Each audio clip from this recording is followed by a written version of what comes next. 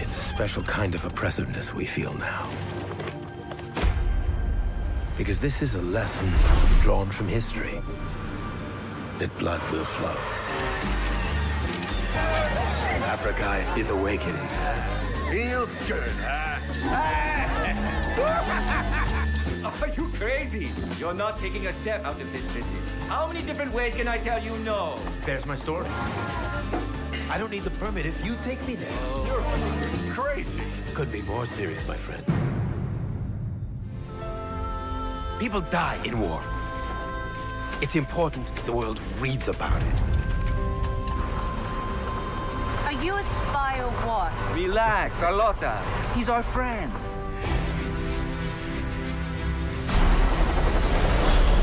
South Africans? They were spotted this morning. They're crossing the border right now. Then Luanda needs to know.